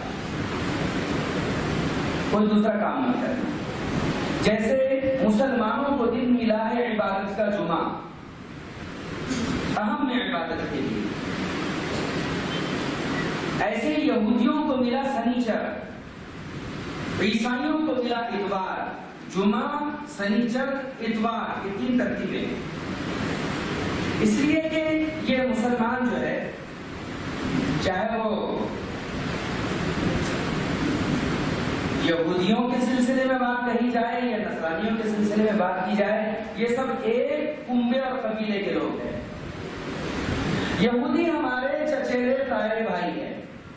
چچا زاد ہے یا تو تائیں زاد ہے سب کا سلسلہ نسب حضرت ابراہیم علیہ السلام پر جا کر سٹاپ ہوتا ہے، رک جاتا ہے۔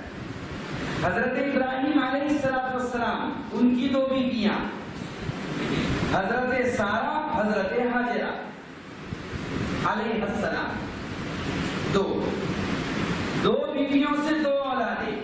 حضرت حاجرہ سے صرف ایک بیٹا، حضرت اسماعیل ذبیح اللہ علیہ السلام. ان کی پوری نسل میں جناب محمد رسول اللہ صلی اللہ علیہ وسلم سے کوئی نبی نہیں.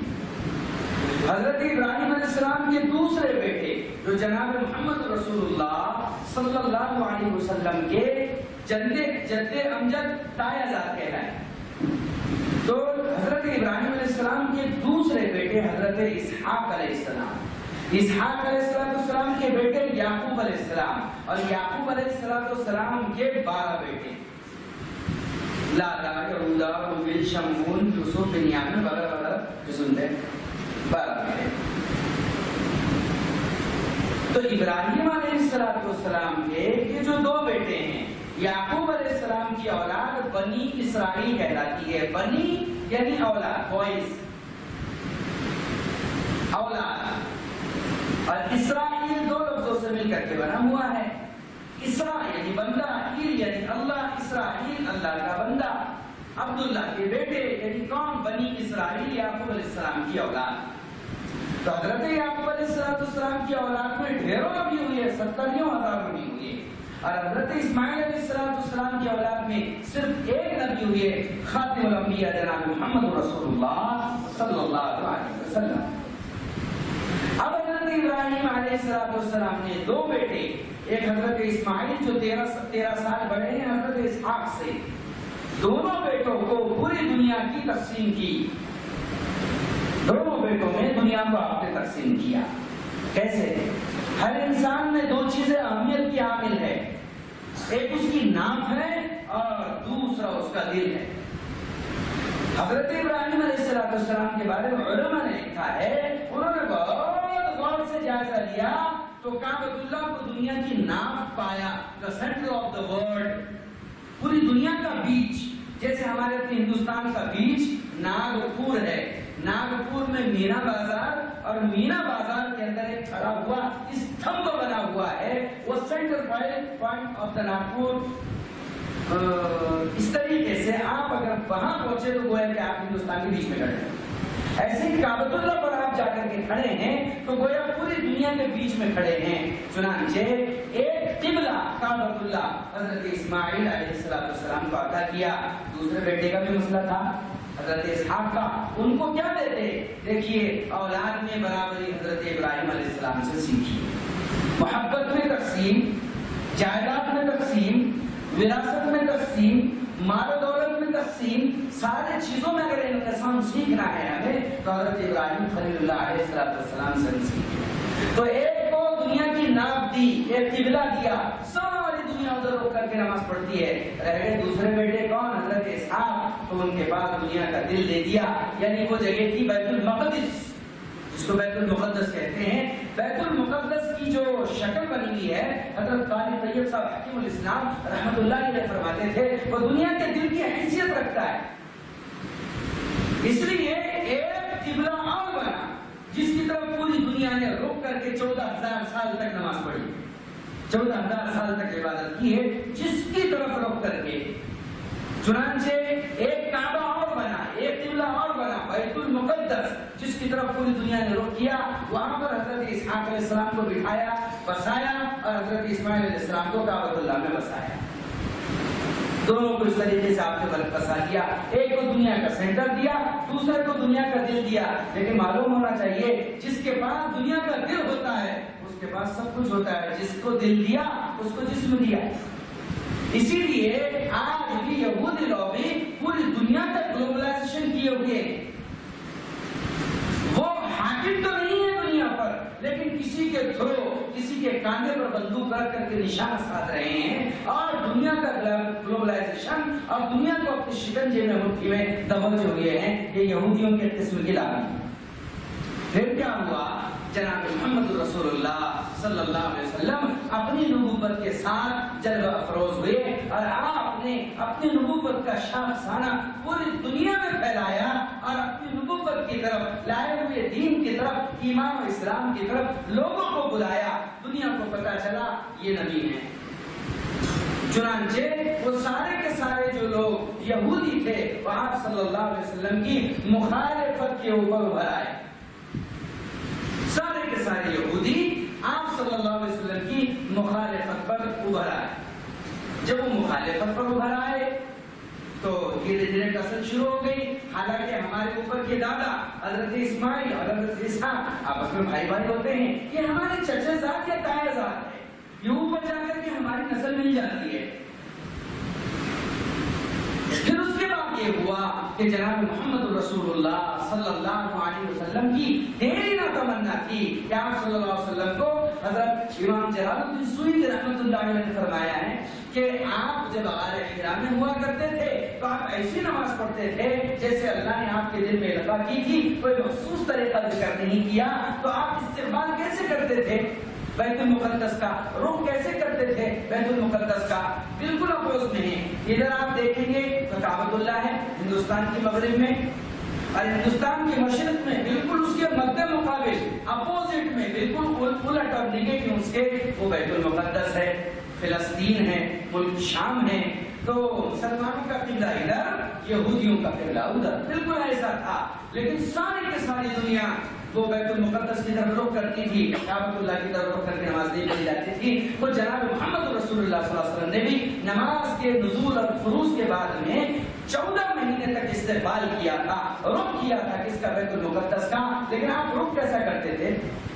آپ بہت دور کعبۃ اللہ کے کھڑے ہو جاتے اور ایسے سائڈ میں کھڑے ہوتے کہ کعبے کے بالمقابل ادھر بیت المقدس ہوتا، کے سامنے بیت المقدس ہوتا تھا، اور آپ اپنا قبلہ کابت اللہ کو بھی ساتھ میں بنا لیتے تھے۔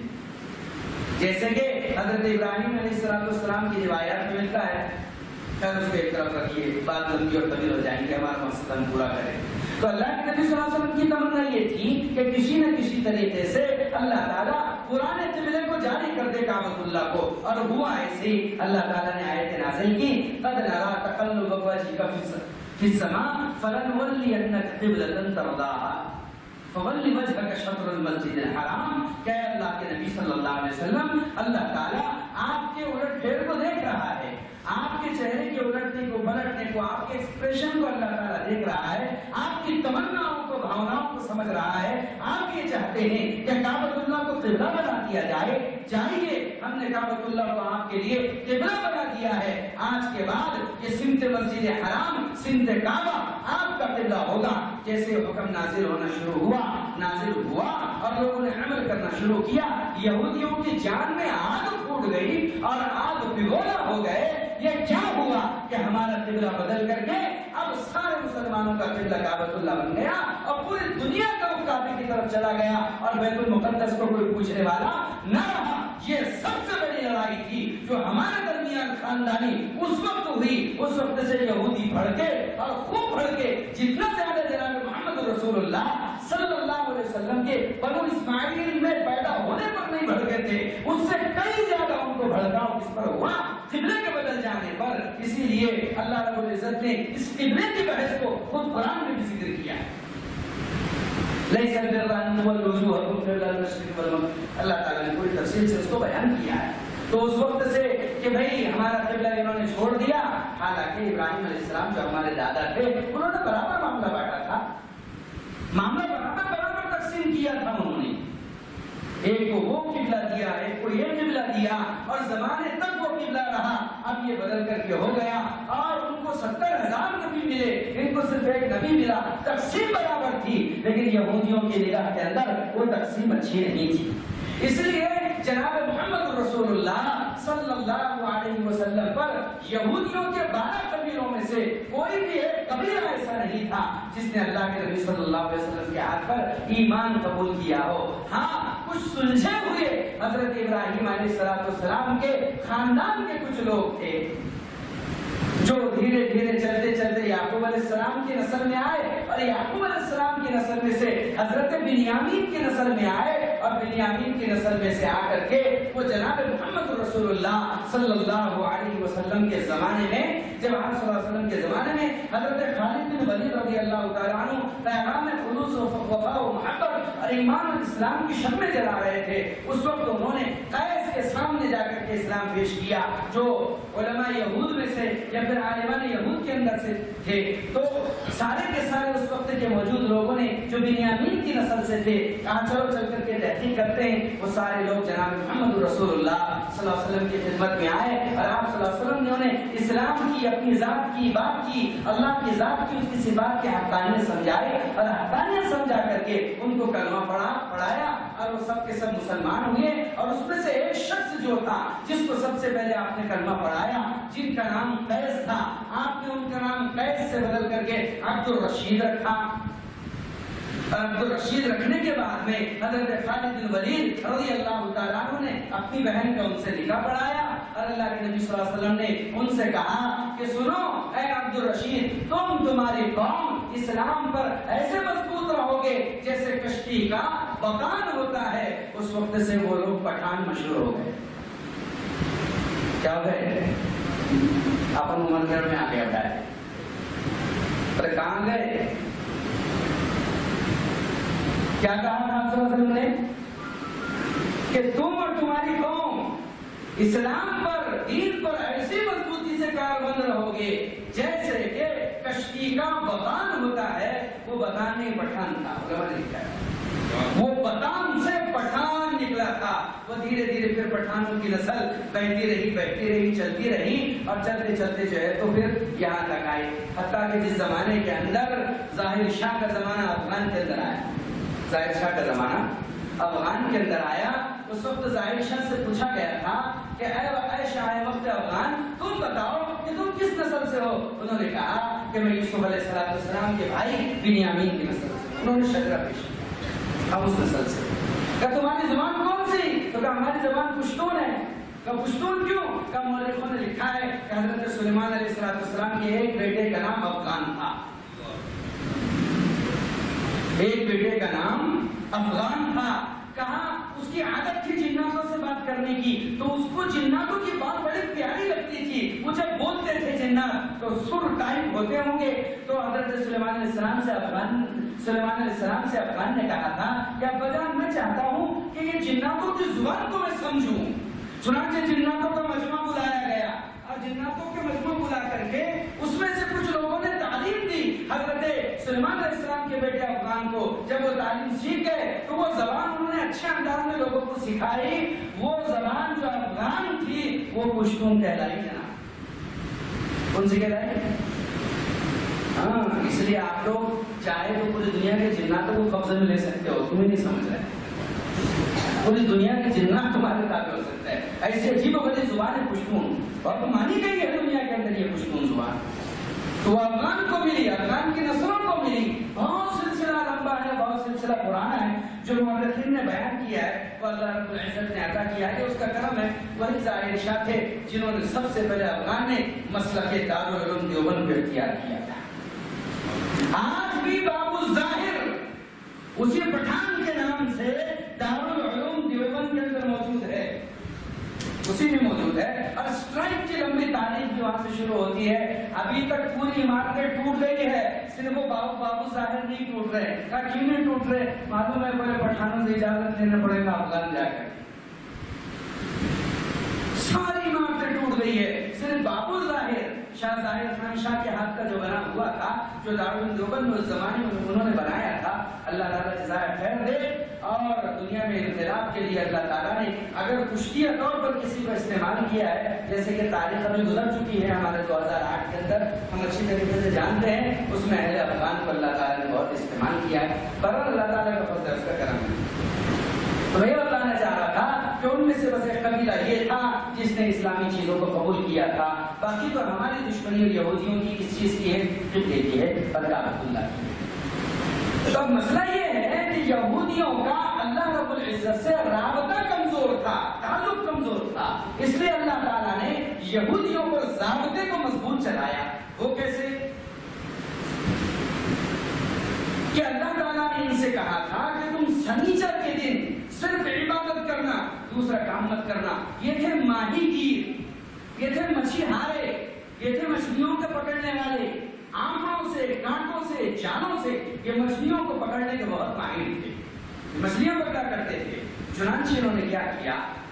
جب ان کو عبادت کرنے سنیچر کا ملا، انہوں نے جمعے کے دن گڈھے کھدوا لیے۔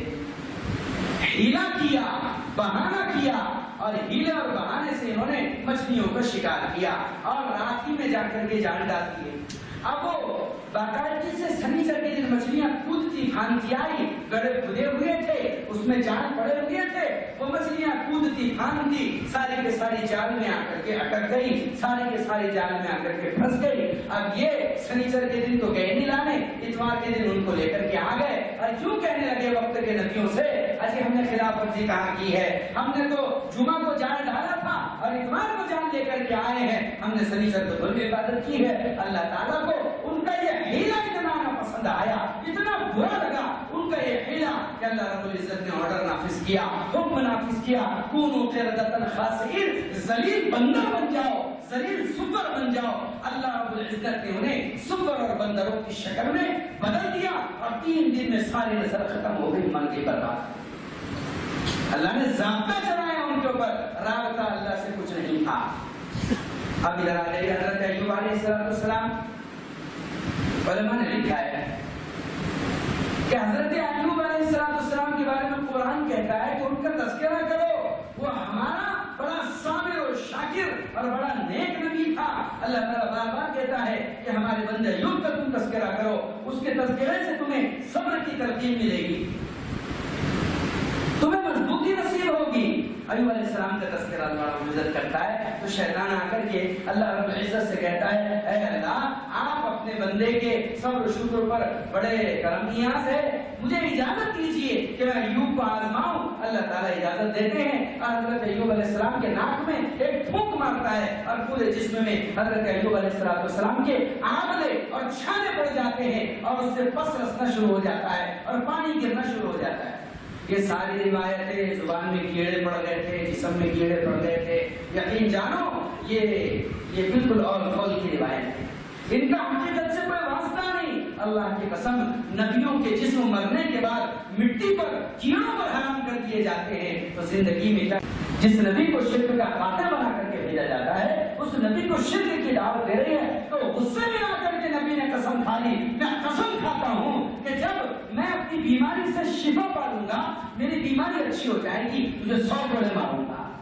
اور پھر آپ رو پڑے اور رو کر کے آپ کی یہ دعا پڑی ربی، انی مسنی الضر وانت ارحم الراحمین۔ اے اللہ، مجھے بڑی تکلیف پہنچی ہے، تو ہی رحم کرنے والا ہے۔ جبرائیل علیہ السلام زمین کے اوپر آئے اور کہا ارکس برجلی کا حالا مختصرا بالغ شراب یہاں آپ اپنا پیر ماریے یہاں سے ٹھنڈا پانی نکلے گا، اس سے غسل کیجیے، اس کو پی لیجیے اللہ آپ کو شفا دے گا۔ علماء نے لکھا ہے، جس آیت کے بدلے حضرت ایوب علیہ السلام کو اللہ نے اس زمانے کی کینسر اور سرطان کے مرض سے نجات دی ہے۔ اگر ہم بھی یہ آیت کا ورد کریں گے، اللہ ہمارا بھی کینسر اچھا کر دے گا۔ اس زمانے کے معجزات اس زمانے کے آیت کرامت اور روحانیت اپنے اندر سیم سیم برابر برابر بھرے ہوئے ہیں۔ صل على محمد وعلى آل محمد كما صليت على إبراهيم وعلى آل إبراهيم إنك حميد مجيد. اللهم بارك على محمد وعلى آل محمد كما باركت على إبراهيم وعلى آل إبراهيم إنك حميد مجيد. ربنا ظلمنا أنفسنا وإن لم تغفر لنا. وترحمنا لنكونن من الخاسرين لا إله إلا أنت، سبحانك إنا كنا من الظالمين. ربنا لا تزغ قلوبنا بعد إذ هديتنا وهب لنا من لدنك رحمة إنك أنت الوهاب. اے اللہ ہمارے گناہوں کو معاف فرما دے۔ اے رب کریم ہمارے خطاؤں سے درگزر فرما دے اے اللہ آج یہ رات گزر رہی ہے اور تیرے لاڈلے بندوں کا تیرے لاڈلے نبی کے لاڈلے امتیوں کا مجمع تیرے سامنے ہاتھ پھیلائے ہوئے بیٹھا ہے۔ اللہ معصوم بچے ہیں جو تیری تیرے قرآن کی حفاظت کے لیے اپنے ماں باپ کو چھوڑ کر کے اس لبو تک دنیا کے اندر آ کر کے بیٹھے ہیں۔ اے مولا کریم، ایک چھوٹا سا بچہ کتنی کم مدت میں تیرے کلام کو حفظ کر کے اپنے سینے کو منور کیا ہے۔ اے اللہ ہم نے ہمارے بڑوں سے بڑی غور سے یہ بات سنی ہے، جہاں حفظ قرآن کی تکمیل ہوتی ہے اور پھر اس پر تجھ سے جو مانگا جاتا ہے، اے اللہ، تو عطا کر دیتا ہے۔ اے اللہ، آج ہم تجھ سے تیری رحمت کا سوال کرتے ہیں۔ اس قبولیت کی گھڑی میں، اس مدرسے کے لیے عزت کا سوال کرتے ہیں۔ رفعت اور بلندی کا سوال کرتے ہیں۔ یہاں کے نظام کے لیے اور پورے مدارس کے نظام کے لیے اللہ سے عبادت کا سوال کرتے اے اللہ، اگر ظالموں کے نرگے میں آج کوئی چیز ہے اور ان کی آنکھ میں کوئی چیز کھٹک رہی ہے، اے اللہ، یہ غریب اور معصوم مدارس کھٹک رہے ہیں۔ اے اللہ، یہ تو تحفظ قرآن کے قلعے ہیں۔ حفاظت قرآن کے قلعے ہیں۔ اے اللہ، تو ان مدارس کی حفاظت فرما۔ ان مدارس کے نظام کی حفاظت فرما۔ اے اللہ، محترم حضرات کی حفاظت فرما۔ مدرسین کی، معلمین کی حفاظت فرما۔ اے اللہ، یہ اگر مدارس کو چھوڑ کر کاروبار اور تجارت کرنا چاہے، اے اللہ، یہ اچھے سے اچھے مالدار بن سکتے ہیں۔ دنیا میں اپنا ایک مقام بنا سکتے ہیں۔ لیکن اے اللہ، ان لوگوں نے سب کچھ تیری نسبت پر چھوڑا ہے۔ تیرے نبی کی محبت میں چھوڑا ہے اور گوریا نشین ہو گئے ہیں، اپنے آپ کو ایک جگہ میں بند کر دیا ہے۔ ایسے شرط اور سامان تعیش کو چھوڑا ہے۔ اے اللہ ان بچوں نے اپنے ماں باپ سے جدائی اور دوری اختیار کی ہے کس کے لیے؟ اے اللہ تیرے اور تیرے نبی کی محبت کے لیے، تیرے قرآن کی حفاظت کے لیے۔ اے اللہ ان محافظین قرآن کی تو حفاظت فرما لے اے اللہ، ظالموں کے ظلم سے، ان کے شر اور ان کے نفاق سے، ان کی چالوں سے اے اللہ دنیا میں بسنے والے سارے مدارس کی حفاظت فرما لے اے ملائے کریم، اس مقبول اور منور مجلس کو تیرے فرشتے گھیرے ہوئے ہیں۔ اے اللہ تیرے فرشتوں نے سب کچھ دیکھا اور سب کچھ پرکھا اور لکھا ہے۔ اور تیرے پاس ان قریب کارگزاری لے کر کے آئیں گے کہ یہ کیا کر رہے تھے۔ اللہ ہمارے دلوں کی طرف آج بھی جنت کی ہے۔ اور ہمارے دلوں میں اگر کسی چیز کا ڈر خوف ہے تو تیرے جہنم کا ہے۔ اے اللہ، تو ہماری گردنوں کو جہنم سے آزاد کر دے اور جنتیں ہمارے مقدر میں لکھ دے۔ اے اللہ اس مدرسے کے ان محتمین کی حفاظت فرما۔ ان دونوں کو بری نظر سے تو محفوظ کر لے۔ اے اللہ عیون السحر سے ان کی حفاظت فرما۔ عیون القہر سے ان کی حفاظت فرما۔ اللہ ساحرین کے سہار سے، جادوگروں کی جادوگری سے فتین کی فتنوں سے۔ تو ان کی حفاظت فرما لے۔ ان کے معلمین بچوں کی حفاظت فرما لے۔ اس مدرسے کے ذمہ داروں کو تو قبول کر لے۔ اے اللہ جو ان کے ساتھ گھومتے ہیں کرتے ہیں، وقت کی جان کی مال کی قربانی دیتے ہیں۔ تو ان سب کو قبول فرما، اے اللہ، یہ بڑا پیارا عملہ ہے، بڑا پیارا مجمع ہے۔ جو تیرے تیرے نبی کی محبت میں تیرے تیرے اللہ اس پیارے گھر میں بیٹھا ہوا ہے، اے اللہ، تیرے گھر میں آئے ہوئے مہمانوں کو تو خالی ہاتھ نہ لوٹا، ہر ایک کو اس کی جائز تمنا آج عطا کر دے۔ اگر کوئی بے اولاد ہے تو اس کی جھولی میں اولاد ڈال دے۔ اس کی زندگی کو ہرا بھرا کر دے۔ اے اللہ، قدرت کل بھی تیرے ہاتھ میں تھی، آج بھی تیرے ہاتھ میں اگر تو حضرت ابراہیم علیہ السلام کو پیرانہ سالی اور بڑھاپے کے عالم میں جبکہ ان کی آنکھوں کی پپنیاں تک پک گئی تھی، اسماعیل اور اسحاق دے سکتا ہے۔ اے اللہ، اس دور میں خلیل اللہ کے چاہنے والوں کو محمد رسول اللہ کی امتیوں کو تو اولاد کیوں نہیں دے سکتا؟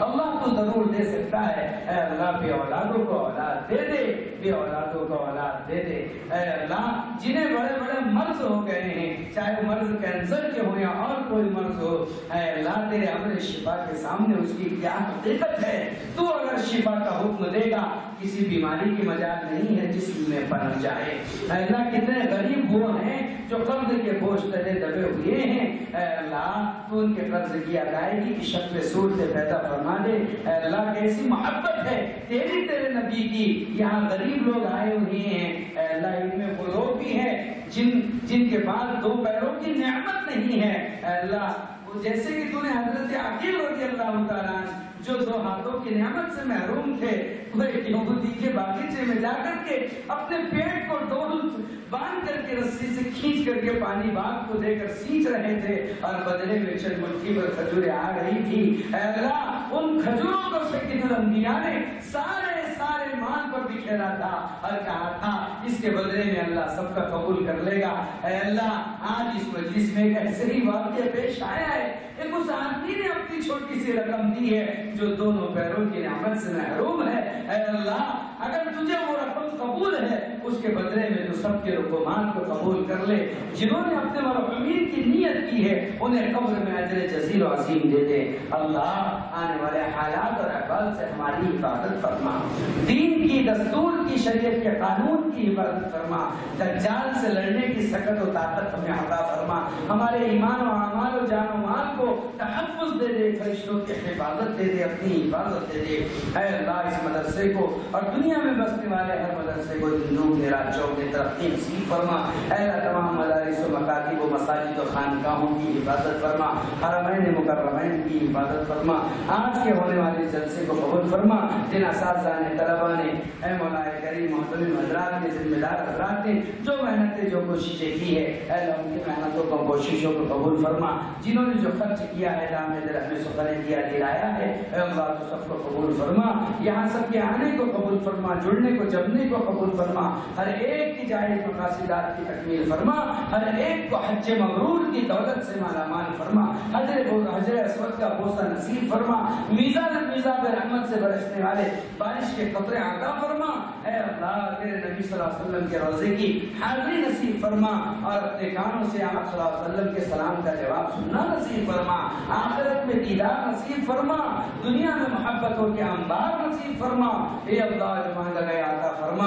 جو مانگنے سے رہ گیا عطا فرما۔ ہماری دعا کو معزت میں فضل سے مدینے کے تاجدار، گنبد خزاں کے مکین، جناب محمد رسول اللہ صلی اللہ علیہ وسلم کی عظیم شان برکتوں سے قبول فرما۔ جزا اللہ عنا محمد اللہ وآلہ صلی اللہ تعالی علی نبی الدنیا ہاشمی کریم آمین برحمتک جو حضرات دور سے آئے ہوئے ہیں کھانا نہیں کھائے ان سے گزارش ہے وہ رک جائے انشاءاللہ کھانا کھائے بغیر نہ جائے۔